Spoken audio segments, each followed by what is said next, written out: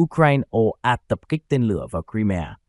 Vụ tấn công tên lửa của Ukraine nhằm vào thành phố Sevastopol, nơi đồn trú của hạm đội Biển Đen Nga.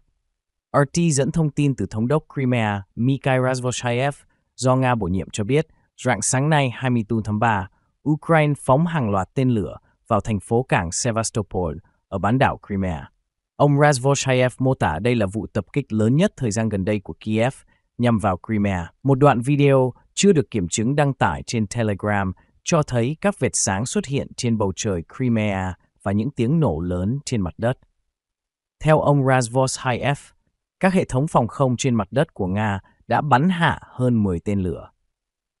Vụ tập kích khiến một người đàn ông 65 tuổi thiệt mạng và một số người bị thương.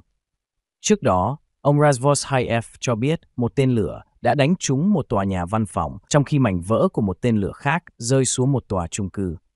Giới chức địa phương vẫn đang đánh giá thiệt hại. Crimea nằm trên một phần lục địa phía nam của Ukraine giữa Biển Đen và Biển Azov, ngăn cách với đất liền của Nga bằng eo biển hẹp Kerch. Crimea có diện tích 26.200 km và dân số khoảng 2 triệu người. Đặc biệt, thành phố cảng Sevastopol là nơi đồn trú hạm đội Biển Đen của Nga từ nhiều năm qua và được coi là một căn cứ quân sự giữ vai trò chiến lược quan trọng với Moscow. Năm 2014, Nga tuyên bố sắp nhập bán đảo Crimea sau một cuộc trưng cầu dân Ý gây tranh cãi mà Ukraine và phương Tây không công nhận. Mới đây, Tổng thống Nga Vladimir Putin công bố kế hoạch xây dựng một tuyến đường sắt mới dài 720 km chạy từ vùng Rostov của Nga qua các vùng lãnh thổ Ukraine bị Moscow kiểm soát đến bán đảo Crimea. Tuyến đường này sẽ được coi là dự phòng cho cầu Crimea dài 19 km nối đất liền Nga với bán đảo Crimea vốn thường xuyên bị Kiev đưa vào tầm ngắm. Ngay lập tức, Ukraine cảnh báo tuyến đường sắt này sẽ trở thành mục tiêu quan trọng đối với lực lượng Ukraine. Crimea là một trong những điểm nóng trong cuộc xung đột kéo dài hơn 2 năm qua giữa Nga và Ukraine. Ukraine liên tục tập kích vào các mục tiêu của Nga trên bán đảo này. Kiev tuyên bố giành lại toàn bộ lãnh thổ bị Nga kiểm soát, trong đó có Crimea. Trong chuyến thăm mới đây đến Ukraine, Bộ trưởng Quốc phòng Anh Grant Shapps và Tham mưu trưởng Anthony Radakin đã cố vấn cho giới lãnh đạo và chỉ huy quân đội Ukraine về chiến lược tác chiến mới nhằm đối phó với Nga. Theo đó, Kiev nên tập trung phòng thủ ở phía đông và tiếp tục nhắm đến bán đảo Crimea. Trong khi đó, Moscow cho rằng việc các nước phương Tây cung cấp vũ khí cho Ukraine tấn công Crimea và những vùng lãnh thổ do Moscow kiểm soát có thể coi là tuyên chiến với Nga. Cuối ngày 23 tháng 3, Bộ Quốc phòng Nga cho biết hệ thống phòng không của nước này đã đánh chặn 19 rocket của Ukraine nhằm vào vùng biên giới Belgorod. Các rocket này được cho là phóng đi từ hệ thống pháo phản lực RM-70 Vampire do Cộng hòa Séc sản xuất. Phương Tây nhiều lần bác bỏ cáo buộc cung cấp vũ khí tầm xa cho Kiev tấn công vào lãnh thổ Nga và khẳng định không trực tiếp tham gia vào chiến sự ở Ukraine. Nga tuyên bố kiểm soát thêm làng gần Bakhmut. Quân đội Nga thông báo kiểm soát làng Ivaniske phía tây Bakhmut, thành phố chiến lược họ chiếm được từ tháng 5 năm 2023. Làng Krasnoy ở Donetsk đã được giải phóng, Bộ Quốc phòng Nga ra tuyên bố ngày 23 tháng 3, dùng cách gọi của nước này với làng Ivaniske. Kết quả này cho thấy lực lượng Nga đang duy trì đà tiến công và tiếp tục củng cố ở vị trí tiền tuyến. Quân đội Nga những tuần gần đây tuyên bố kiểm soát thêm loạt ngôi làng trong bối cảnh lực lượng Ukraine thiếu binh sĩ và đạn dược. Tháng trước, Nga kiểm soát hoàn toàn thành phố Avdiivka ở Donetsk. Lực lượng Nga sau đó tiếp tục tiến công quanh Avdiivka, khiến quân đội Ukraine phải rút khỏi nhiều khu vực gần thành phố này. Cuộc chiến giành Avdiivka là một trong những chiến dịch đẫm máu nhất trong cuộc xung đột đã kéo dài hơn 2 năm ở Ukraine. Nó được ví với chiến trường Bakhmut, nơi Nga đã kiểm soát hồi tháng 5 năm 2023. Giới chuyên gia phương Tây nhận định chiến thắng liên tiếp của Nga ở Bakhmut, Avdiivka có thể trở thành bàn đạp để lực lượng này mở rộng tấn công hàng loạt cứ điểm kiên cố của Ukraine, tiến tới kiểm soát hoàn toàn tỉnh Donetsk. Nga còn lại bao nhiêu hỏa lực sau 2 năm xung đột ở Ukraine? Bất chấp những tổn thất trồng chất sau 2 năm tiến hành chiến dịch quân sự đặc biệt tại Ukraine, lực lượng Nga vẫn đang cho thấy sức bền cả về quân lực lẫn vũ khí. Trong những tháng đầu tiên của năm 2024, lực lượng Ukraine đã phải chật vật chống trả kế hoạch tấn công bằng mọi giá của Nga vào khu vực miền đông Donbass, bao gồm Lugansk và Donetsk. Nga liên tục huy động lực lượng. Vào tháng 8 năm 2022, Tổng thống Nga Vladimir Putin yêu cầu mở rộng quy mô binh sĩ tại ngũ thêm khoảng 13%, nâng tổng quân số lên 1,15 triệu người. Ngay sau đó, nhà lãnh đạo Nga tiếp tục ra lệnh huy động một phần, gọi 300.000 quân dự bị vào tháng 9 2022.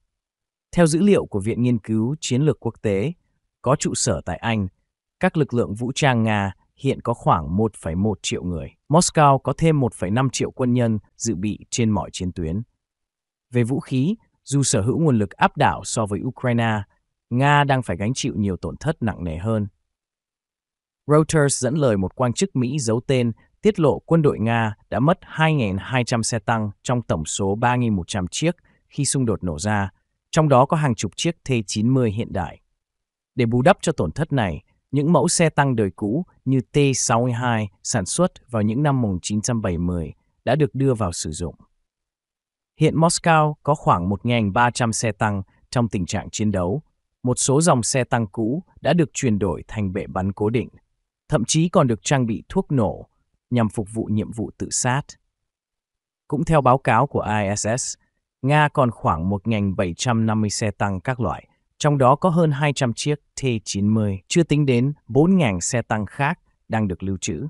Đạn pháo đóng vai trò thiết yếu đối với chiến dịch quân sự của Nga. Moscow đã tiêu tốn một lượng đạn pháo lớn sau hơn 2 năm xung đột. Để bù đắp, Nga đã tăng cường sản xuất đạn pháo với quy mô gấp nhiều lần trước xung đột. Về lĩnh vực không quân, Moscow không thể chiếm ưu thế dù có lợi thế về mặt số lượng trong giai đoạn đầu của cuộc chiến. Kiev tuyên bố đã bắn rơi 347 máy bay Nga kể từ tháng 2 2022. Tuy nhiên, các chiến đấu cơ của Moscow vẫn đang chứng minh sức mạnh then chốt trên mặt trận miền đông Ukraine bằng cách sử dụng bom lượn để tấn công vào các điểm nóng như thành trì Avdiivka. Ngoài ra, lực lượng không quân nước này tiếp tục phóng tên lửa tầm xa nhằm vào cơ sở hạ tầng tại các thành phố của Ukraine. Theo ước tính của Kiev, Moscow vẫn còn khoảng 900 trong số 2.300 tên lửa chiến lược trước khi xung đột bùng nổ. Ngoài ra, theo báo cáo của ISS, Nga có khoảng 1.169 chiến đấu cơ, bao gồm các dòng chủ chốt như máy bay ném bom, tấn công mặt đất đến tiêm kích hải quân. Tuy nhiên, điều bất ngờ nhất ở chỗ những thất bại ngoài dự liệu của Moscow lại xảy ra trên biển, nơi Hải quân Nga áp đảo hoàn toàn lực lượng Kiev. Hạm đội Biển Đen là một trong bốn lực lượng chính của Nga, cùng với các hạm đội Baltic, Thái Bình Dương và phương Bắc. Hạm đội Biển Đen ban đầu sở hữu khoảng 80 tàu chiến. Kiev tuyên bố đã phá hủy 27 chiếc trong số này, buộc ít nhất 15 chiếc phải sửa chữa và tạm loại khỏi vòng chiến đấu. Trụ sở của hạm đội Biển Đen tại thành phố cảng Sevastopol, bán đảo Crimea cũng bị tập kích. Hình ảnh vệ tinh được các hãng truyền thông phương Tây lan truyền cho thấy nhiều cơ sở u tàu quan trọng đã bị hư hỏng nặng. Trong số đó, tên lửa dẫn đường Moskva, tàu ngầm tấn công Rostov-na-Donu, tàu hộ tống Ivanovets và tàu đổ bộ Kezakunikov đang chịu những tổn thất nghiêm trọng nhất. Tuy nhiên, giới phân tích phương Tây cho rằng, bằng việc chuyển sang nền kinh tế thời chiến, thúc đẩy ngành công nghiệp quốc phòng, Nga đã nhanh chóng bổ sung nguồn lực quân sự. Moscow được cho là đang chuẩn bị không chỉ cho cuộc chiến lâu dài ở Ukraine, mà còn một cuộc xung đột tiềm tàng với NATO. Moscow tuyên bố, xung đột Ukraine đã cho thấy nhiều vũ khí hiện đại của Nga vượt trội so với của phương Tây.